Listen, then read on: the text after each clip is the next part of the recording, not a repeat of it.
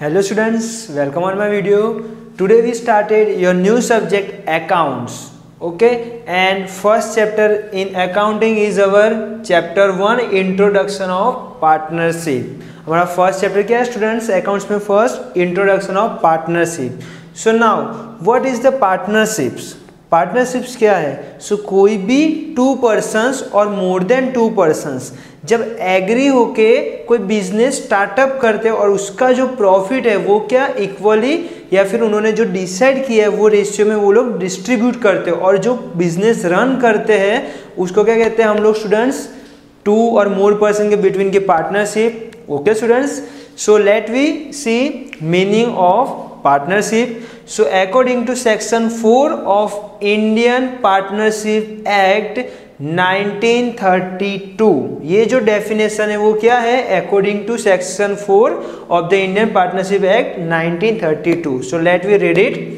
partnership is the relation between the persons who have agree to share the profit of the business carried on by all और any one of them acting for all means partnership क्या है? तो कोई एक person या फिर जितने भी पर्सनस हैं, वो लोग एग्री होते हैं और किसके लिए एग्री होते हैं कि जो हम लोग बिज़नेस रन करेंगे, उसका प्रॉफिट है, वो हम लोग अर्न करके हम लोग इक्वली डिस्ट्रीब्यूट कर देंगे। अदरवाइज़ जो प्रॉफिट है, उसको जो रेशियो उन्होंने डिसाइड किया है, वो रेशियो के बेस के ऊपर से हम लोग प्रॉफिट शेयर कर लेंगे। So that call is our partnership okay students so I hope you understood meaning of partnership according to act of 1932 Indian partnership act okay students good see characteristics of partnership students so first characteristics of partnership is creation by contract means कोई भी partnership होती है, वो कैसे create होती है? सो contract के through कोई भी पार्टनरशिप ऐसी नहीं होती कि कॉन्ट्रैक्ट के बिना पार्टनरशिप स्टार्ट हो अदरवाइज़ बिज़नेस स्टार्ट हो। वो कॉन्ट्रैक्ट चाहे या फिर एग्रीमेंट रिटर्न हो या वर्बली हो कोई भी हो। स्पीकिंग से वो कॉन्ट्रैक्ट होना चाहिए अदरवाइज़ रिटर्न फॉर्म में कोई भी। बट पार्टनरशिप कैसे क्रिएशन होता है? पार्टनरशिप का always on the basis of contract okay students then second characteristics of partnership is profit objective कोई भी पार्टनरशिप होती है स्टूडेंट्स उसका मेन ऑब्जेक्ट क्या होता है? टू अर्न मोर प्रॉफिट कोई भी पार्टनरशिप का मेन ऑब्जेक्ट क्या होता है? पार्टनरशिप का प्रॉफिट अर्न करने का. ओके स्टूडेंट्स तो सेकेंड कैरेक्टरिस्टिक्स ऑफ़ पार्टनरशिप क्या है?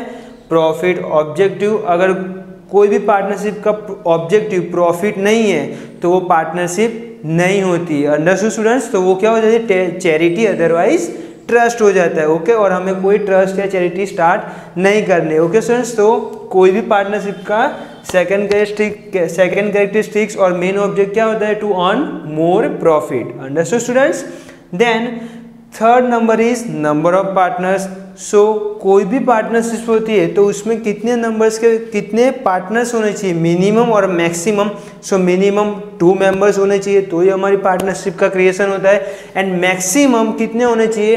According to act of Indian partnership act maximum fifty five zero members होने चाहिए. मिनिमम कितने students minimum two members and maximum how much students fifty according to Indian Partnership Act 1932. Understood students? Then fourth characteristics of partnership is unlimited liabilities.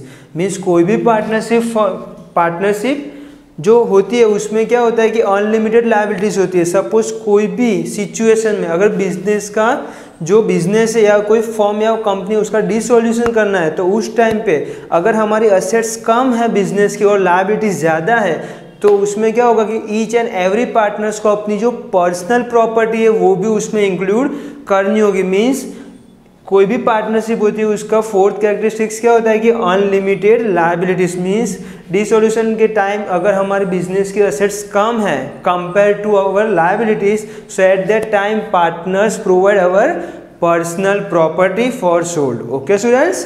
Then, fifth characteristics of partnership is ownership and management of firm.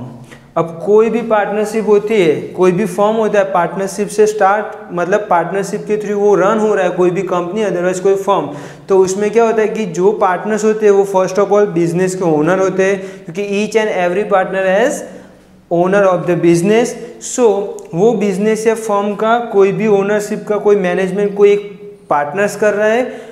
Suppose कोई एक company में four partners है so so उसमें कोई एक ही person है जो management पूरा कर रहा है, किसके जो रिमेनिंग पार्टनर्स है, उसके बदले में कोई एक ही बंदा, जो एक ही पार्टनर है, वही, वो पूरे मैनेजमेंट कर रहा है। अंडर स्टूडेंट्स सो कोई भी पार्टनर्स होता है, वो एक करे अदरवाइज़ ऑल पार्टनर्स मैनेजमेंट करे। और क्या होता है कि ऑल पार्टनर्स होते हैं, वो बिज़नेस के ओनर भी होते हैं। So fifth characteristics of partnership is ownership and management of firm. Okay students? So i hope you understand characteristics of partnership. Okay students?